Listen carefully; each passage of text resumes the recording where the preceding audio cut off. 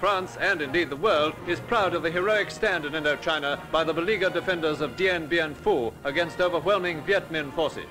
French men and supplies have been dropped, while deadly napalm bombs blitzed enemy troops, massing for yet another attack on the gallant garrison.